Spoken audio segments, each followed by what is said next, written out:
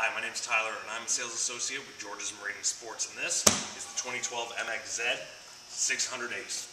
The 600 Ace is Ski-Doo's newest four-stroke engine. It offers 60 horsepower, as well as the best fuel economy out on the market today, 29 miles per gallon. Starting up here at the front, you have your motion control shocks, which will offer you great stability and absorption through the trails. You also have your standard track, which is going to be an inch lug, as well as center shock being motion control, as well as the rear shock being also motion control. Um, this sled primarily use is going to be on the trails again because it is a short track, but it's going to offer plenty of comfort because of those shocks um, and reliability as well because of the engine on the trails.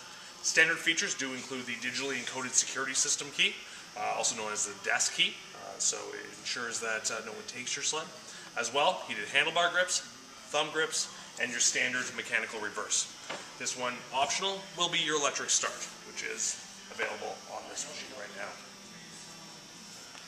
2012 Ski-Doo MXZ 600 Ace.